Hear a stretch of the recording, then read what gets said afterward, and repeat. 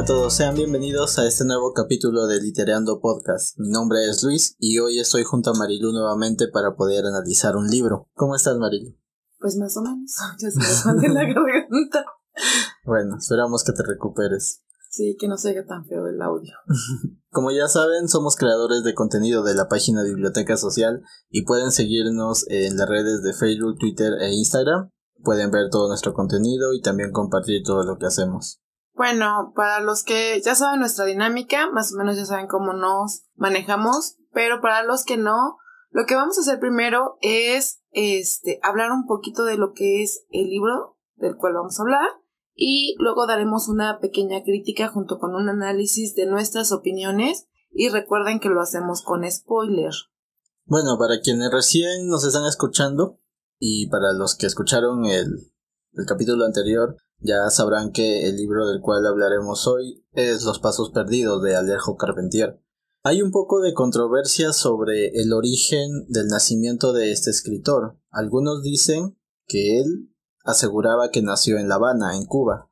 Sin embargo, tiempo después, a medida que algunos biógrafos fueron describiendo su historia, han documentado que lo más probable es que naciera en Suiza. Sin embargo, la mayoría está de acuerdo en que nació el 26 de diciembre de 1904 y también que falleció en París el 24 de diciembre de 1980. Es un escritor que fue muy notable en la literatura latinoamericana, tuvo un arraigo muy fuerte en esta cultura latinoamericana, pues él vivió en distintos países de Latinoamérica, a los cuales les tuvo mucho cariño, sobre todo en Venezuela y en Cuba, además de Francia. Bueno, que es europeo, pero en estos dos primeros países vivió largo tiempo y por eso tenía un especial apego hacia ellos. La historia la narra nuestro protagonista, el cual eh, ya estaba un poco cansado y hastiado de su vida y en un lapso de vacaciones que tiene, eh, él se va aventura a la selva a buscar unos instrumentos musicales, eh, digamos que prehispánicos, y es así como empieza su aventura. Pero para no hacerles spoiler, hasta aquí les dejo. Y ya si quieren seguir, pues bueno, será su decisión. Nosotros seguimos este ya con la crítica y obviamente usaremos un poco de spoiler. Pero este, si no, los invito a que lean el libro y después nos escuchen.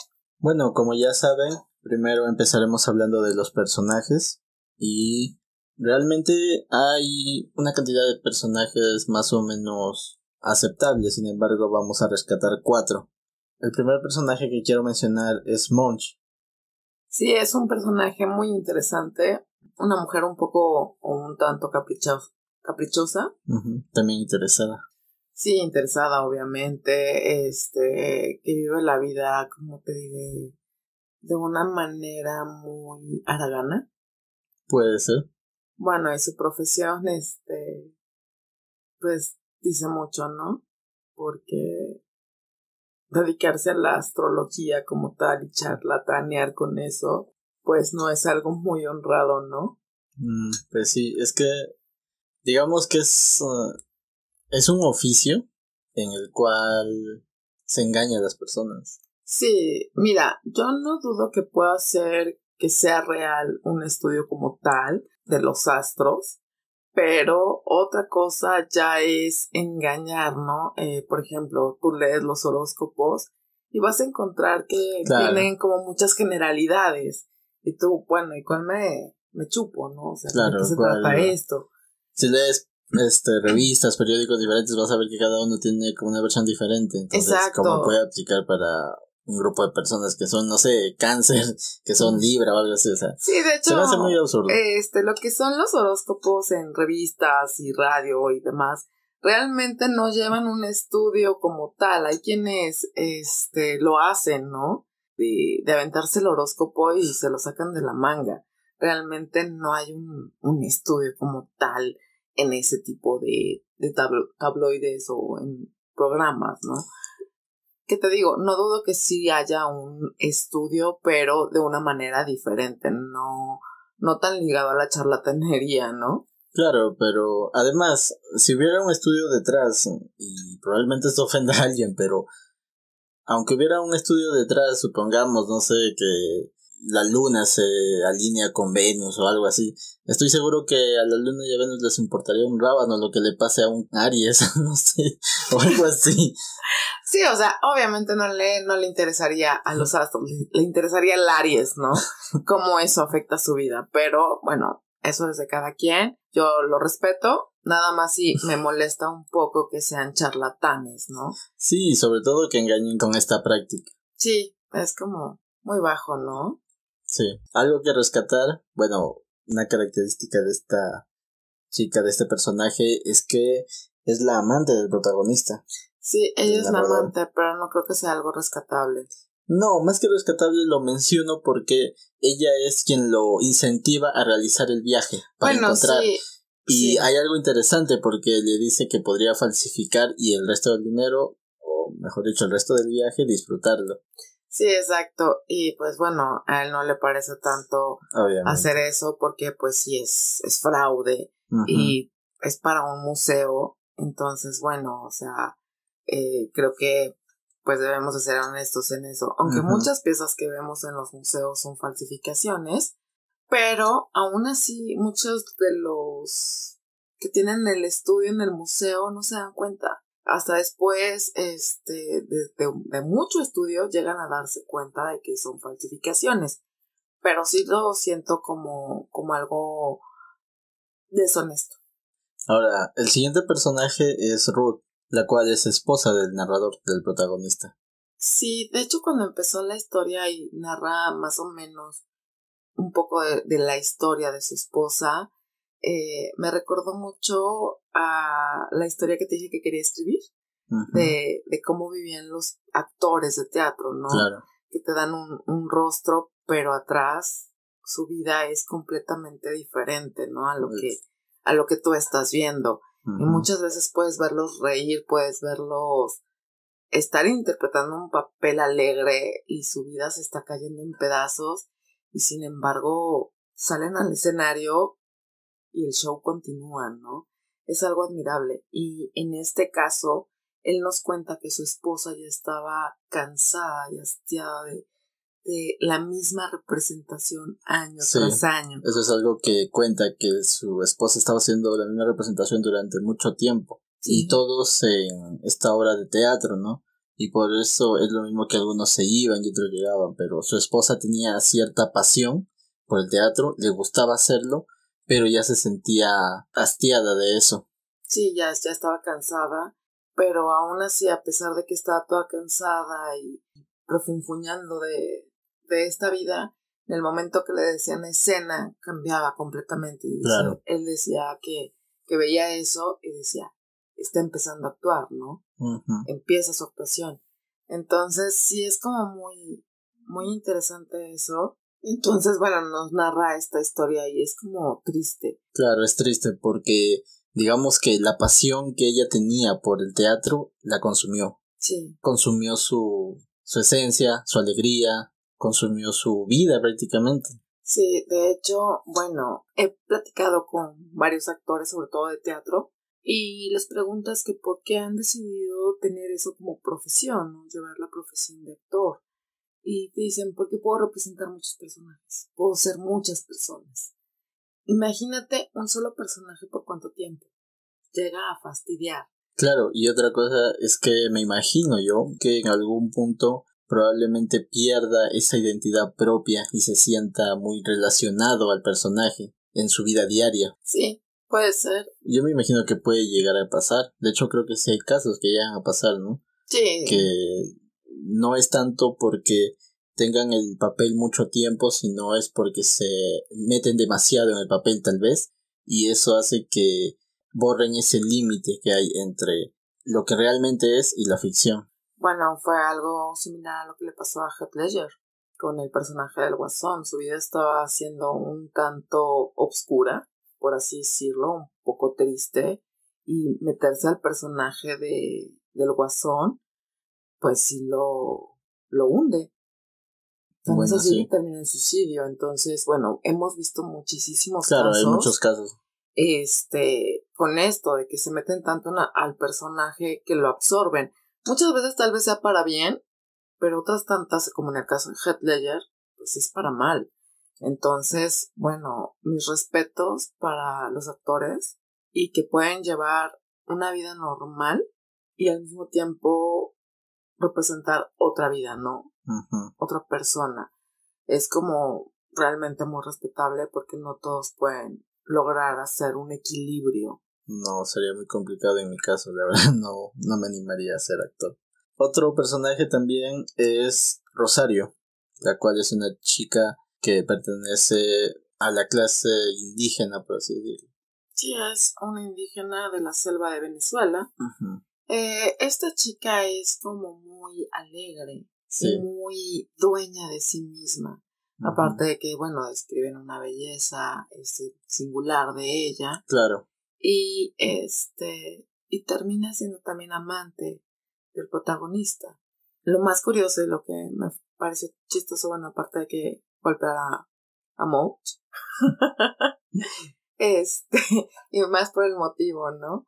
Es como muy chistoso esa parte, pero cuando el padre, Fray Pedro, le dice al protagonista que debe de casarse con Rosario y él no quería casarse porque no quería decir que ya estaba casado y bueno, todo, todo es como muy complicado para él, pero cuando le dice a Rosario que por qué no se casan, él dice no, porque a la hora de casarnos el hombre se adueña de la mujer y yo no quiero eso. Yo quiero libertad de poder hacer y ser quien quiera. No, no estar bajo el yugo de un hombre, ¿no? Es como muy interesante su concepto de matrimonio, pero para la época, pues muy acertado. Claro, eso es algo que reiteramos otra vez. el contexto histórico, ¿no? La época. Este libro se escribe cerca de, la década de los 50. Entonces sí, aún había esa, ese pensamiento de que al momento de casarse, pues la mujer pasaba a ser parte como de pertenencia del hombre. Sin embargo, eh, como te digo, ya vemos una Venezuela un poco más avanzada, pero a pesar de eso aún se da, y no solamente en la urbe, sino también en estos pueblos indígenas. Sí. Y es algo que en cierta forma ha ido pasando a través de las culturas, porque si damos una retrospectiva hacia lo que fueron las culturas precolombinas, pues vemos que también se mantenía esa actitud de un poco de darle a la mujer un segundo lugar. Sí, de hecho, bueno, ya no se usa o ya no lo he escuchado, pero este anteriormente cuando contraía el matrimonio, la mujer pasaba a su nombre de el apellido del marido. El de eso era así como título de propiedad o qué onda, o sea, no sé, se me hacía como muy grotesco. Sí. Y de hecho, este, hay quienes a mi mamá la conocen como la señora Pacheco. Y ella no es Pacheco, es Navarro, ¿no? Y siempre dice Navarro. Claro, creo que esa parte del D, digamos que fue yendo en desuso por, obviamente, porque sí da ese aspecto de pertenencia, ¿no? sí, te digo que pero... parece título de propiedad y es como grotesco. pero eso ya se quedó en, el siglo pasado, que bueno. Pero como tú dices, pero luego, a pesar de que no había ese D, muchas personas adoptaban el apellido del esposo, ¿no? Del esposo, sí. Y pues sí seguía dando como que cierta cierta perspectiva de pertenencia. De pertenencia, sí, obvio. Y pues no, no le perteneces a nadie, te perteneces a ti mismo. y sí, ese D es como, ay, no sé, da cosa, ¿no? Da repelús. Pero bueno, este, así se usaba. Y lo que me gusta de Rosario es que dice, no, yo no quiero eso para Claro, como tú lo dices, es una mujer libre, es una mujer que, que está consciente de, de todos estos frenos sociales, por así decirlo, ¿no? Al momento de casarse. Sí. Y pues sí, decide no, en cierta forma no casarse. Pero también algo interesante de este personaje es su carácter. Porque es una persona humilde, pero también es una persona aguerrida. Sí, tiene el carácter como muy fuerte, muy firme. Claro, en sus decisiones, en sus ideales y sí, o sea, como tú dices, es muy humilde, pero también es alegre, es jovial. No sé, me encantó ese personaje por, por la combinación de características que, que describe el, el escritor en ella. Es como muy, muy bonito. Ese personaje me gustó mucho. Como último personaje vemos al narrador, del cual nunca nos dicen el nombre. No, es el protagonista, pero nunca nos dicen quién, quién es, nunca dicen su nombre. Este personaje es llamativo porque además de ser el protagonista y narrador, también vemos su perspectiva del mundo y vemos cómo sufre esa especie de involución, podríamos decirlo, de un mundo civilizado, entre comillas, a llegar a un mundo que podríamos describir cercano al, a las antiguas culturas precolombinas. Este personaje, bueno, es como una fotografía de la mayoría de la gente, de cierta manera, porque tiene un sueño, pero termina abandonándolo. A él le gustaba la música y eh, quería componer algunas melodías con instrumentos prehispánicos. Y es interesante porque los sonidos de, la música prehispánica y más de Latinoamérica, bueno, son muy encantadores, ¿no? Bueno, a mí me gustan mucho. Y él quería hacer una, como una sinfonía con estos instrumentos, era su sueño. Y él decía que se podía lograr. Entonces estaba haciendo todo un estudio y abandona ese sueño, eh, se vuelve como tipo publicista. Claro. Y se dedica a la publicidad, pero digamos que la publicidad muchas veces es como entrar en un juego de vende y engaña o engaña y vende, entonces es como también no muy satisfactorio. Y creo que se lo come esa parte de la publicidad a él eh, y lo hace tedioso entre su vida marital y su trabajo no se siente a gusto con él mismo y llega el momento en que se enfrenta con sus sueños pasados y con lo que está viviendo en el presente y se siente cansado, hastiado, fastidiado, enojado y llega un momento en que explota, ¿no? O sea, le explota su pasado y su presente en la cara y tiene que tomar las riendas de su vida. Y este viaje que hace lo ayuda a hacer eso, ¿no? a poner un alto a su esposa, a ponerle un alto al amante y a decidir qué es lo que quiere hacer. Claro, como tú dices, él abandona este sueño, sin embargo tiene la oportunidad. Algo interesante también, como lo acabas de mencionar, es que al momento de dejar todo este sueño, pues ya no sigue su investigación respecto a los instrumentos y los sonidos latinoamericanos y cuando llegan a, hacerle esta propuesta de viajar y buscar estos instrumentos, pues él se siente un poco avergonzado porque, porque como que ya no tenía ese, ese mismo conocimiento. Entonces no quería quedar mal ante su maestro. Sí, es como complicado para él, pero a final de cuentas toma la decisión. Claro. Y está bien. Sí. Como ya lo mencionaste, pues hacer todo este viaje hizo que cambiara el destino de su vida, ¿no?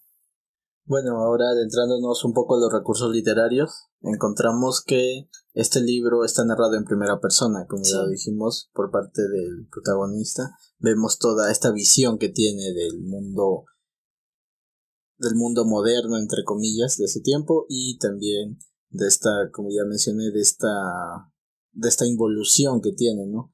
hasta retroceder en cierta medida en el tiempo.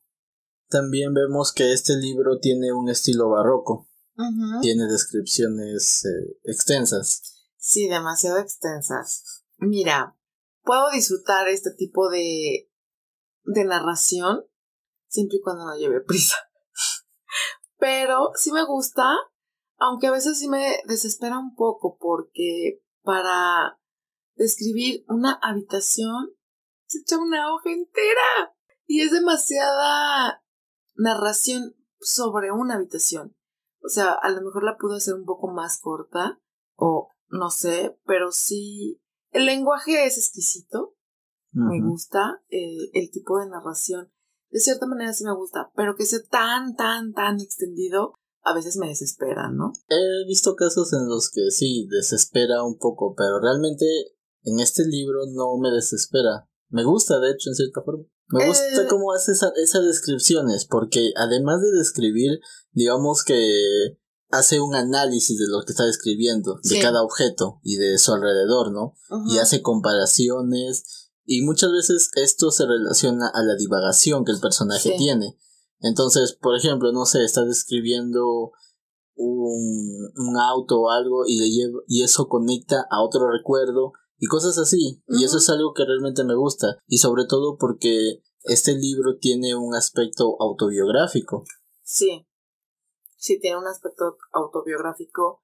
Te digo, tal vez sin prisa lo hubiera podido disfrutar un poco más, pero quería terminarlo de leer para, para el, eh, el, el podcast. Y bueno, sí se fue así de, no lo describas tanto, pírate. Pero sí, sí también me gusta. Y te digo, como el, el lenguaje es exquisito y, sí, es un lenguaje muy enriquecido. Sí, es como muy fascinante esa parte. Me gusta mucho.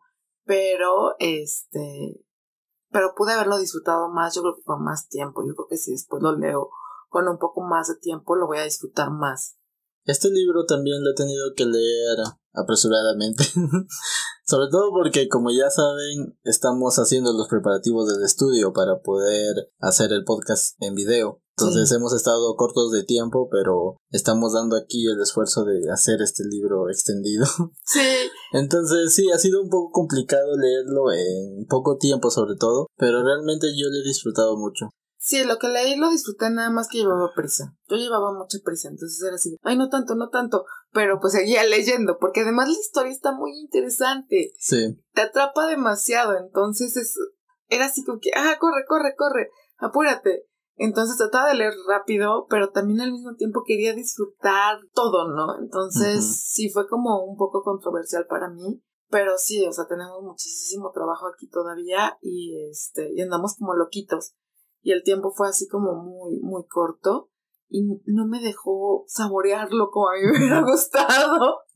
De hecho, no sé si a ti te pase, pero de repente yo leo un libro y me gusta mucho, lo empiezo a leer demasiado rápido por, por lo mismo que me, me adentro en, en la historia, pero ya una vez que lo terminé y que ya sé qué pasa, lo vuelvo a leer para disfrutarlo, para saborearlo, para desmenuzarlo. Eso me encanta, no sé si te pase. Eh, no me pasa, creo que solamente me ha pasado unas dos veces, tres veces creo, pero me imagino que es más la ansia de saber cómo continúa la historia, de cómo se desarrolla, y en cierta forma como que estás un poco ansioso por saber el final, porque te atrapa, pero creo que hay que tomarse un poco el tiempo. Sobre todo con este libro, porque no es una lectura fácil. No, no es una lectura fácil. Como ya dijimos, tiene un lenguaje muy enriquecido. Sí, y vamos también a la época en la que fue escrita, de los años 50, donde todavía estaba esa generación que realmente sabía usar las palabras, que realmente sabía explayarse en todo ese contenido y darnos palabras que muchas veces tenemos que rebuscarlas en diccionario, en internet tal vez o algo, pero no son comunes para el vocabulario actual, ¿no? Para el vocabulario actual nada comunes, pero muy enriquecedoras, la verdad. O sea, a mí me encantó esa parte y, y lo disfruté mucho y como ya lo había dicho, me gusta el barroco, ¿no? Entonces pudo gustarme mucho, mucho el libro, pero llevaba prisa. Algo también que ya mencionamos, pero quiero hablar un poquito más de esto, es sobre las divagaciones que hay en este libro. Ah, son hermosas. Son muy bonitas. Pero ya dijimos, a veces está pensando en algo y eso le lleva a un recuerdo y a otro recuerdo, cosas así, ¿no? Entonces, realmente me sentí muy enganchado a este libro por eso porque esas divagaciones que tiene es como estar contando muchas historias en un momento, pero no te confunden, sino que en cierta forma te hacen entender por qué el personaje relaciona ciertas cosas a otras. A otras, sí, es como muy interesante. Yo creo que si escribiera mis pensamientos, porque divago mucho, todo el día estoy divagando, o sea, mi cabeza todo el día está en mil partes, ¿no? Y creo que escribiría algo así también, de una cosa lleva a otra y lleva a otra y lleva a otra para explicar una cosa, ¿no? Creo que sería algo así. Y fue algo que también disfruté y que me gustó mucho. También algo que rescatar de este libro es ese estilo de analizar, ese estilo de filosofar en los hechos que va describiendo. Sí, es como, no sé, una mezcolanza de barroco filosófico es No sé, muy enriquecedor, la verdad. Sí. Es un libro que, si no lo han leído, por favor, léanlo. Les va a dejar mucho, pero eso sí, o sea, no quieren leerlo rápido como nosotros. Este, traten de leerlo con tiempo, denle su, su dedicación para que lo disfruten, porque la verdad que es un buen libro, un libro muy, muy bello. Los temas son muy interesantes. Nosotros sacamos algunos temas, pero realmente son como más temas. Y es como, bueno, no sé, me encantó el libro, me gustó mucho, pero al mismo tiempo, pues sí llevaba prisa. Entonces, y tengo ciertas controversias ahí y algunas cosas que después tendré que checar. Y también sería bueno que las palabras que no entiendan las busquen, porque en este libro a lo largo he visto más o menos unas seis palabras tal vez que no conocía. Entonces, si no saben los términos pueden buscarlos, porque como ya dijimos, tiene un lenguaje muy muy enriquecedor. Sí, una ventaja que tenemos internet Claro, actualmente ya hay, ya ya hay una forma más fácil de, de, enterarse de qué trata, ¿no? Porque yo creo que en su tiempo probablemente hubiera sido un poco más complicado buscar los términos. Vamos a que hay diccionarios que no están completos, obviamente que son más económicos, ¿no? Sí, obvio. sobre todo los escolares. no, traen muchas palabras. Sí, realmente ahorita hay mucho acceso a toda esa información. La RAE también tiene su propia página y tiene también su propia aplicación. Entonces pueden descargarla y ahí tienen un beneficio muy grande. Sí, la verdad es que sí, y pueden ver todos los cambios que ha hecho la RAI conforme han pasado los, los años, bueno, los tiempos, y el por qué han ido cambiando el vocabulario, también eso es importante. Entonces, pues bueno, sería bueno que la descargaran y que la tuvieran y que leyeran este libro y que tuvieran un acceso a un diccionario o algo que les pueda decir algunas palabras. Recomendación, descarguen la aplicación oficial de la RAE porque hay otras aplicaciones de diccionario que también hay, pero algunas roban datos. Entonces, eviten ir a aplicaciones de terceros. Sí, mejor directo a la RAE y más fácil, ¿no? Ahora, antes de entrar a los temas, me gustaría hablar un poco del contexto histórico de este libro y sobre todo la vida de Alejo Carpentier, que vivió en Venezuela entre los años 1945 y 1959. Muy buen tiempo para Venezuela. Sí, estos aproximadamente 15 años, 16 años que vivió en Venezuela le sirvieron para sentirse parte de este, de este país y de su gente y es por eso que le tiene un cariño muy grande. Bueno, el señor era europeo. Los europeos son muy fríos, siendo sinceros. Realmente es raro que encuentres un europeo que sea cálido como los latinos, americanos. Porque el latino tiene la festividad dentro de sí, el latinoamericano la tiene, es alegre, es jovial, es apapachador. Claro, la efusividad. Efusividad de la vida, ¿no? Y bueno, los europeos cuando llegan a venir a cualquier país de Latinoamérica, son felices porque se sienten apapachados, se sienten abrazados por, por las personas, ¿no? Claro, entiendo eso. Pero como ya dije al inicio, pues Alejo Carpentier, este escritor decía que había nacido en La Habana, sin embargo sus biógrafos dicen que realmente nació en, Suiza. Suiza. Entonces, no sé si realmente sea europeo o no, pero ah, como tú dices, si fue europeo, y llegó a estas tierras latinoamericanas, pues conoció ese calor nuestro, ¿no? Sí, ahora bueno, Chabela Vargas decía ser mexicana. Y la señora no era mexicana, era de Costa Rica, pero decía que los mexicanos nacían donde se les daba la gana. Hablemos un poco de Venezuela en este, en este contexto histórico, ¿no? Primero vamos a que, como ya dijimos, estos 16 años que vivió Alejo Carpentier en este eh, en Venezuela sirvieron para que él se conecte con la gente, con este país y sobre todo en el año de 1947 él realiza un viaje a la selva. Ajá. Y este viaje es precisamente el que le sirve de inspiración para para escribir este libro, Los Pasos Perdidos. Sí, mira, podemos agarrar inspiración de cualquier lado, ¿no? Y es interesante que haya hecho este viaje porque entonces siento que nos narra ese viaje a través del libro, ¿no? No sé, es lo que yo siento o, creo. Claro, como ya dijimos, esta novela es autobiográfica. Tal vez no es exactamente igual, pero lo más probable, estoy seguro, que está describiendo lo que él sentía en ese viaje, ¿no? Sí, es, es como interesante eso. Y bueno, esa parte me pudo gustar. Este, y hacerme sentir dentro de la selva, ¿no? De cierta manera. Claro. Y es como reconfortante. Sí, es que sus descripciones también son muy buenas. Y esa parte en la que él describe y narra y sigue teniendo estas divagaciones a medida que se va adentrando en la selva, realmente me gustaron. Son muy buenas. Sí, son muy, muy buenas. Entonces, bueno, qué bueno que lo inspiró y que haya hecho ese viaje. Y pues también disfrutar un poco de, de sus paisajes, ¿no? Ahora, también en este tiempo algo destacable en Venezuela es que pasaba por un auge económico, un contraste muy diferente a lo que está sucediendo ahora, ¿no? Sí, pero vemos vemos que se está usando este recurso del petróleo para generar riqueza. Mira, es que si te das cuenta, estaba en la guerra de las Coreas, entonces bueno, esto es como beneficioso porque se eleva el petróleo. Y creo que no nada más para Venezuela, sino para todos los países que Claro, en general se eleva el precio del petróleo, pero Venezuela descubre sus grandes yacimientos. Entonces aprovecha esto, obviamente.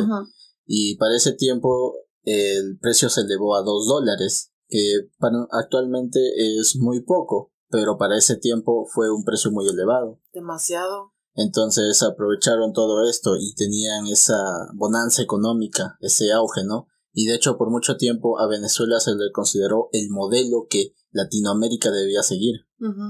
Pero lamentablemente pues la riqueza atrae problemas a veces. Atrae la envidia y sobre todo como es un gobierno el cual tiene este poder sobre los yacimientos de petróleo, pues muchos quieren llegar al gobierno y obtener ese poder. La ambición. Claro. Sí, en este caso creo que la ambición es quien perjudica a Venezuela en este aspecto.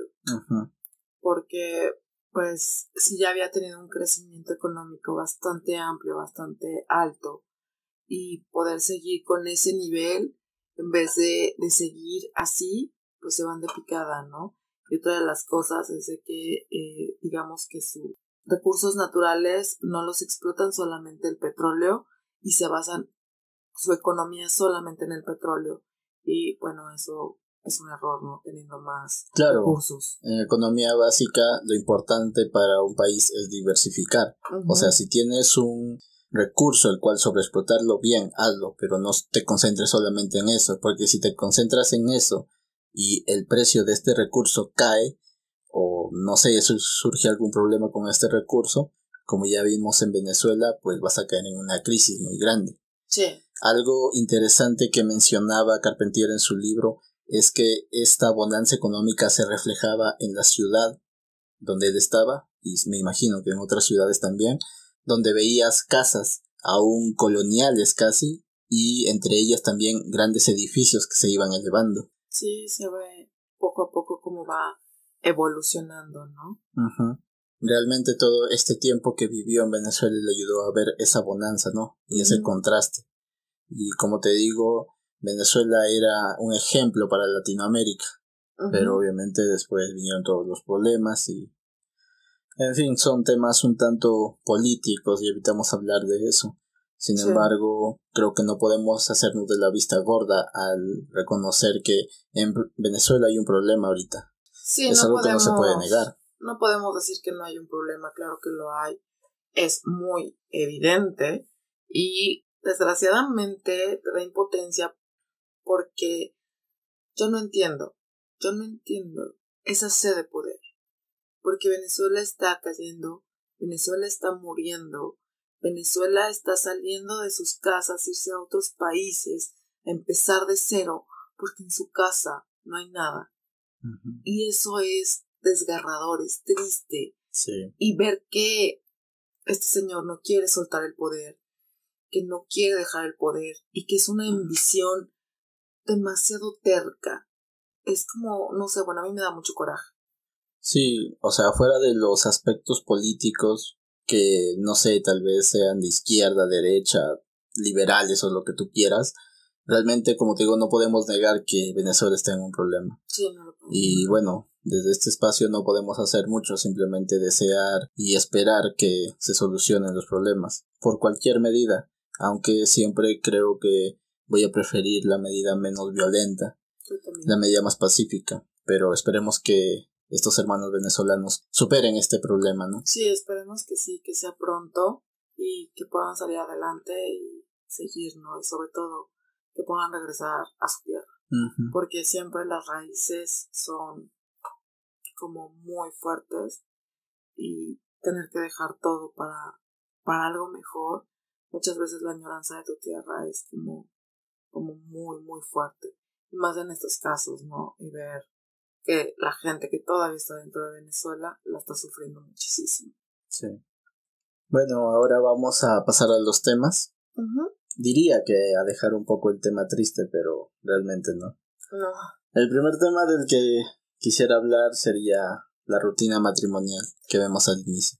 Sí, es interesante cómo describe esta rutina, ¿no? De en su trabajo y de todas formas andar como loco por este ayudarle a su esposa en el teatro.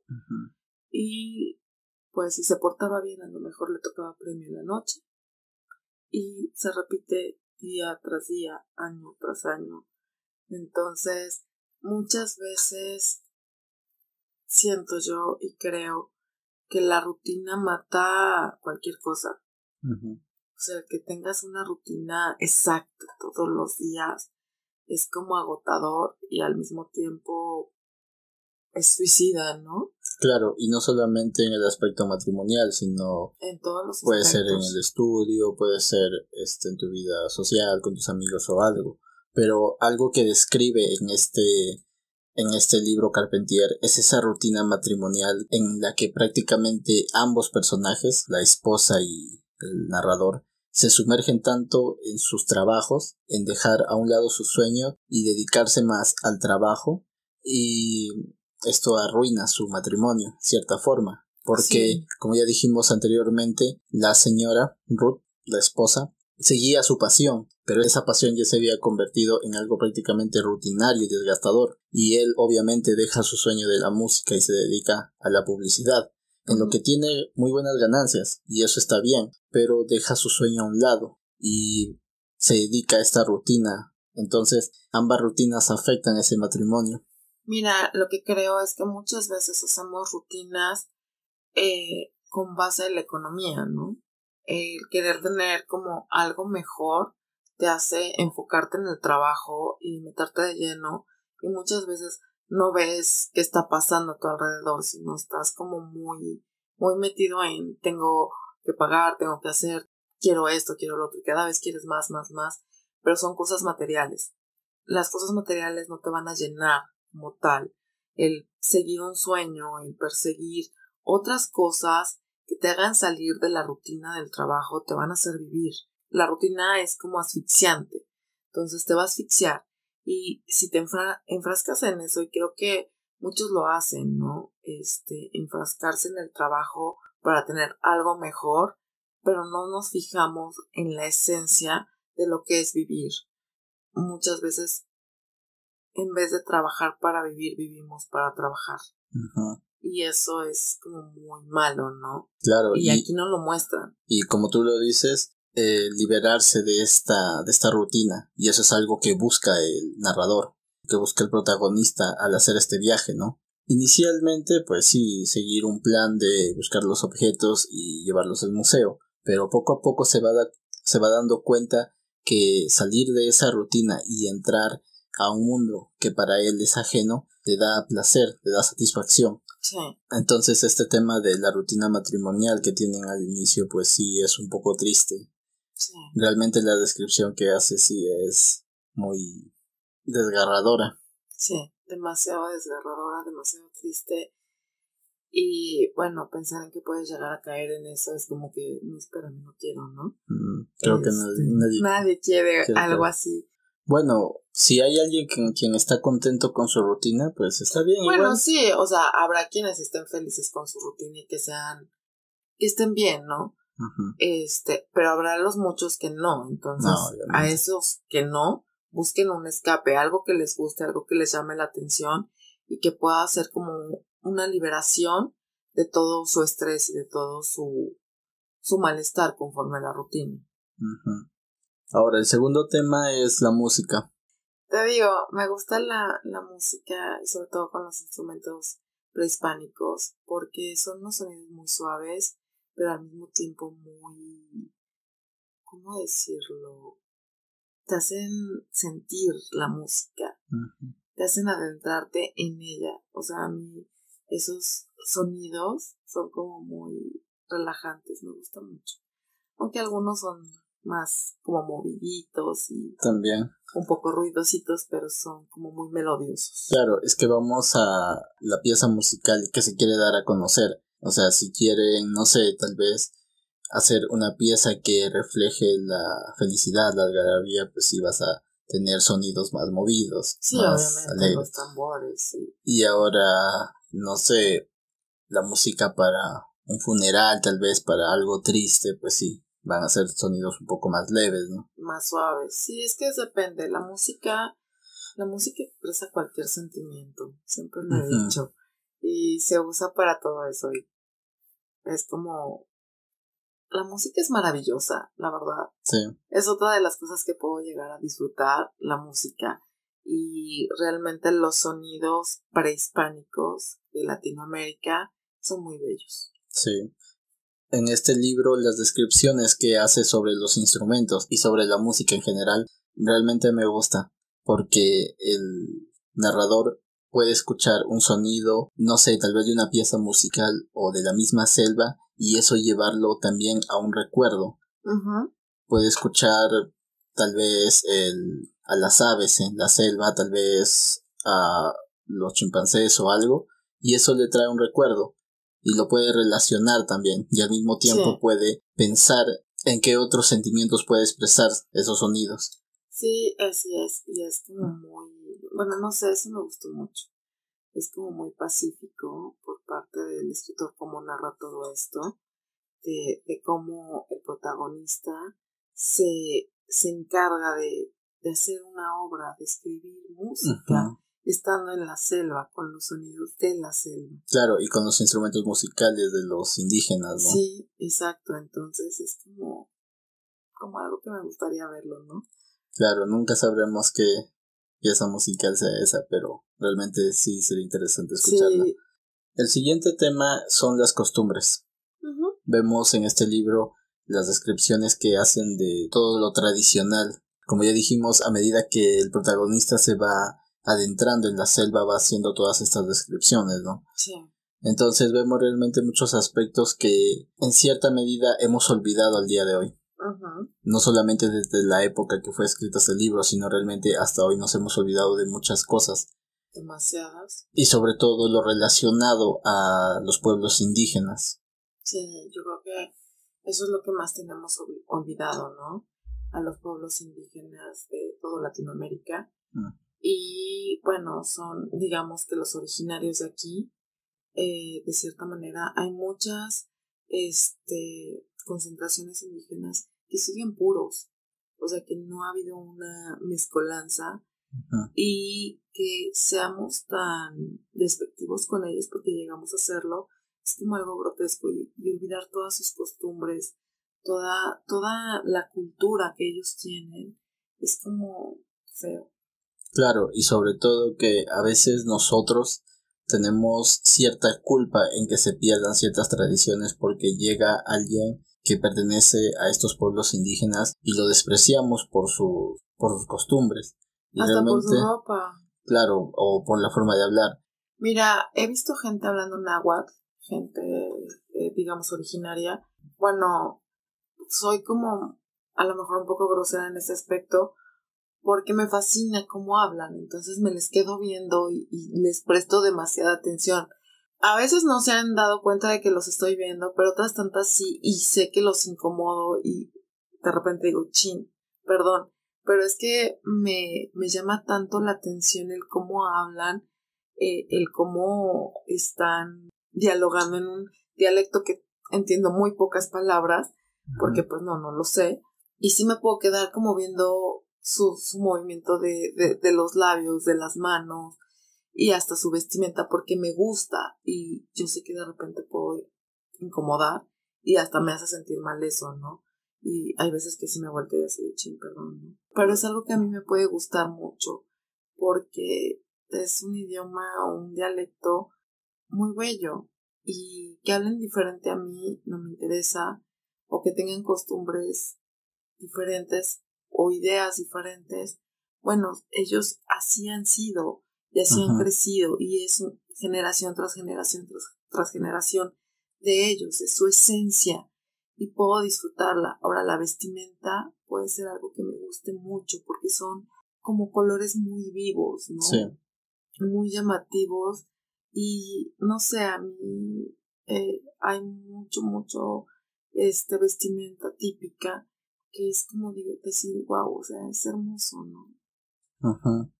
Claro, algo que quiero mencionar es también en Perú y no sé si en otros países, digamos que hay una especie de género musical que se llama yarabí o los yarabíes, que son canciones de, bueno, pueden ser de alegoría o festividad o temas así, pero que se encantan bajo los idiomas del quechua y la aymara. Y son muy bonitos, realmente son hermosos me gustan mucho.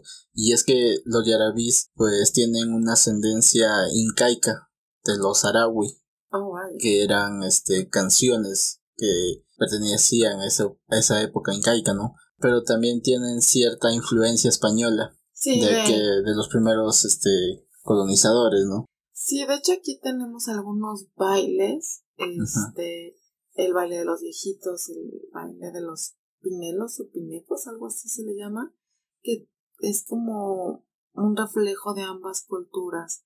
Y hay unos cánticos en Tarasco. Mi abuela este, era de Michoacán, y bueno, toda esa tierra es Tarasca, y cantaban unas canciones en Tarasco. Tienen un nombre, pero siempre le tengo que preguntar a mi mamá porque siempre se me olvida. Y la recuerdo por un tiempo, pero después se me vuelve a olvidar y tengo que volver a preguntar de cómo se llaman. Pero son, es música muy bonita. Si pudiéramos recuperar lo que queda de lo que fue, sería maravilloso. Esperamos que, que esta reflexión ayude a mantener aún esa cultura viva. Esperemos que sí. Bueno, como último tema queremos hablar un poco del contraste entre la urbe y la naturaleza dentro de este libro. Bueno, la urbe, jungla de cemento, ¿no? Y la naturaleza, oh Dios, qué contraste. Es interesante esto, porque antes todo era naturaleza y se fueron haciendo civilizaciones y hicieron ciudades y entonces creían el que hubiera civilizaciones con demasiado concreto era como progreso y pues creo que no. Claro, como ya lo mencioné antes, el protagonista de esta historia sufre como una especie de involución tecnológica pero como que una especie de evolución espiritual. Sí, mira, estamos hablando de los años 40, 50.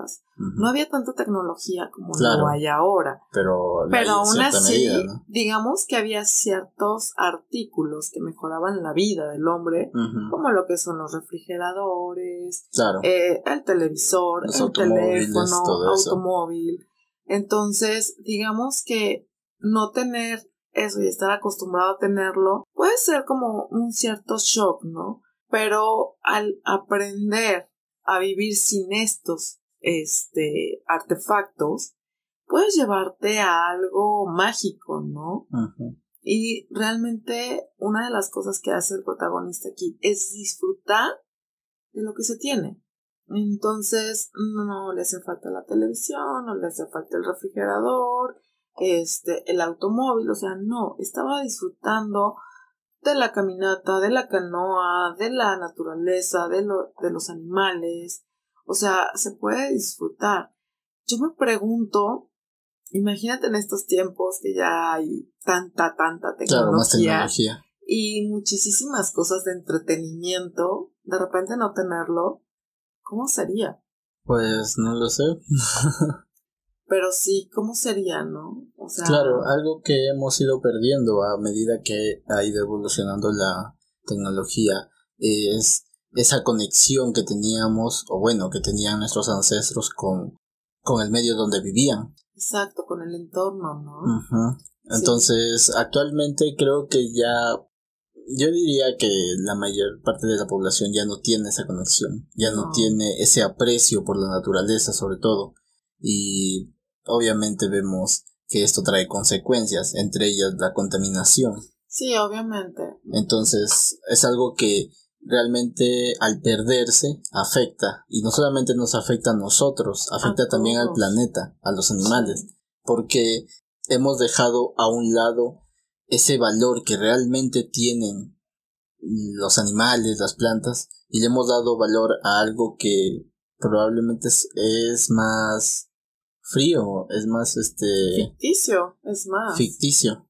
Sí, o sea, bueno, Tú sabes que yo disfruto de las plantas que me gustan mucho y cada vez que veo un brotecito eh, o que van creciendo o que sale una flor, puedo llegar a emocionarme de una manera loca, impresionante, ¿no? Y a lo mejor muchos piensan que soy exagerada, no lo exagero, así soy. Y me nace ser así, ¿no? O sea, de emocionarme, porque son seres vivos y aparte de que son seres vivos y que son muy, muy hermosos, nos dan oxígeno. O sea, realmente nos dan oxígeno y no nada más eso, o sea, nivelan el clima, ayudan a disminuir la contaminación, aparte de que son hermosos. A mí me encanta el sonido que hace el viento a través de los árboles. Es tan hermoso, pareciera que los árboles te hablaran. Es como no sé, me gusta mucho eso. Claro, realmente eso es muy llamativo y como ya lo mencioné es algo que se ha ido perdiendo. Sí. Lamentablemente pues a muchas personas no les interesa sembrar un árbol o algo así. Sí, no. Y perdón que lo diga en Facebook hay muchos de sembramos un árbol ahora que hace calor. Pero no nada más lo digas, hazlo. O sea, de verdad, háganlo. Si cada quien sembráramos un árbol, pero no nada más así sembrarlo y dejarlo a su suerte. No, hay que cuidarlo, hay que buscar fertilizante, tierra negra, este, tal vez humus, este, composta, hacer algo para que ese arbolito crezca y que crezca fuerte, sano y que se sienta el mismo arbolito feliz, ¿no? De estar cuidado. Entonces, este desarraigo de la naturaleza del entorno influye mucho en el comportamiento y sobre todo en este libro vemos cómo el personaje principal se va sorprendiendo a medida que se va adentrando en la selva. Sí, es que es como diferente. Claro, obviamente, porque él viene de un mundo más, un mundo entre comillas más frío. Sí. Más monótono. Y entonces llegar a este lugar en la selva, a esta comunidad indígena, en donde encuentra ese calor que él no tenía, que no sentía, y sobre todo también relacionado al, a su pasión, a la música. Entonces realmente esto le atrae tanto que decide quedarse. Sí, desgraciadamente llegan por él, pero aún así vuelve a regresar porque siente que ese es su, su lugar. Y es interesante, o sea, como lo dices, ¿no? Hay que ver la diferencia entre lo que es una ciudad, todo el ruido, toda la contaminación que hay y terminas estresado y llegas a un lugar donde ves plantas, ves animales, eh, el río, lo que tú quieras, pero que es un lugar pacífico, aunque hay ruido, no se compara con el ruido de la ciudad. claro, son dos, dos sonidos, dos ruidos muy diferentes. Muy diferentes. Uno puede estresarte demasiado, pero el otro puede llevarte a la paz, a la tranquilidad, ¿no? Es como la diferencia que hay. Y eso, pues, es padre. Sí, realmente es algo muy rescatable en el libro. Sí. Con esto llegamos al final de nuestra opinión. Esperamos que puedan leer este libro y que puedan disfrutarlo como nosotros lo hemos hecho, a pesar del poco tiempo que hemos tenido. Regresamos en el próximo bloque para recomendar el libro de la próxima semana y leeremos un extracto para que se interesen en la lectura.